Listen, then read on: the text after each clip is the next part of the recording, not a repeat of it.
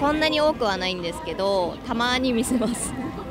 確かに子供生まれる前はあやっぱああやって見せちゃうんだなっていうふうに思ってましたけどもう電車で大泣きとかされるよりかはマシかなっていうふうに自分では思っちゃうのでしょうがないなっていうふうに 思います。そんなに気にしたことはないですね。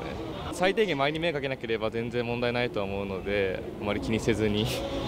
子育て頑張ってくださいって形ですかね。はい音とか出ないであの周りに迷惑をかけてなければいいと思います。子供だししょうがないし、うん、なんか共感できるのでお母さんたち、うん、そこまで厳しい目で見なくていいと思います。スマホの時代だからまあそういうやり方でやるのもありかなと思いますけど。まあ、自分たちの時代になかったものだってことで違和感とか拒否感があるかもしれないけれどもそれはいつの時代も同じなんでしょうがないかなっていう気がしますけど。